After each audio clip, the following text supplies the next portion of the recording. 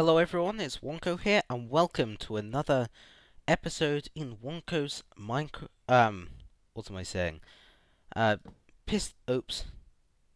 Well, we can do without them. Piston and redstone creations in Minecraft. Now, this one I'm going to show you today, from a practical standpoint, is absolutely useless because there are far easier ones to build that work better, look better, and act faster. But you know, from an aesthetics standpoint, I kind of like it. So, here it is, a Myst style, well, sort of Myst style, apart from this top layer, but a Myst style uh, hidden bookshelf door in Minecraft. Ta-da! So, if you've never played the video game Myst, there's a library with a bookshelf that withdraws back and turns into stairs, so this one dropped down, this one drew back and fell down, and that one I couldn't really make it go too back and drop down because all of this was in the way. But so I just made it go up instead. But you know, it's sort of misty. So it's the best I've been able to do. So yeah, I I like it. I do. It's and it's two-way resettable. So, really easy, quite quick too, and it's night time. I don't want it to be night time. Sorry about this.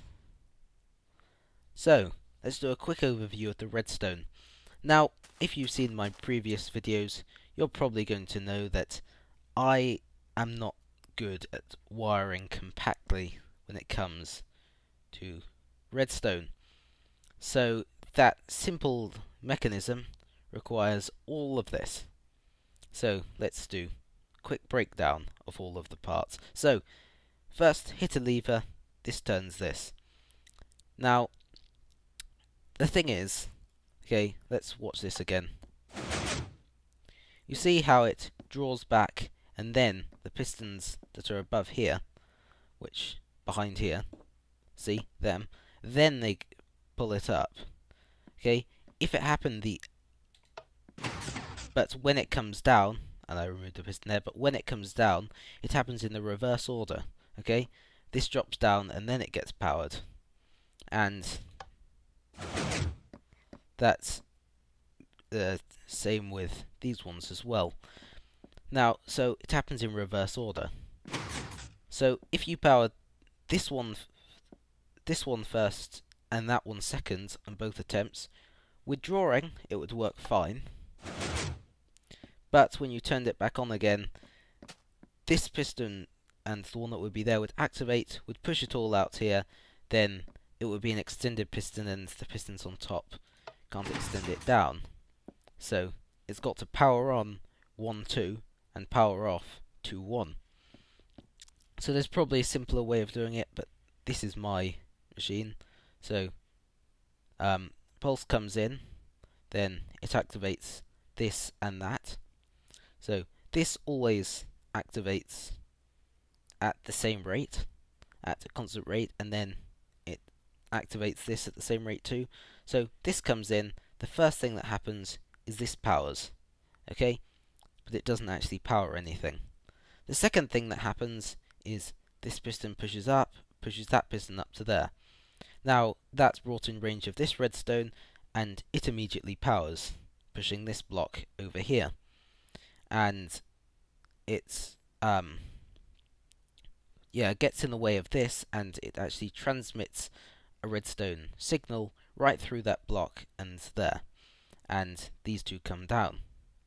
So, in this scenario, uh, this one would go through in three ticks, which is the same amount of time there. So this one would pass through, but and then first, and this one would come second.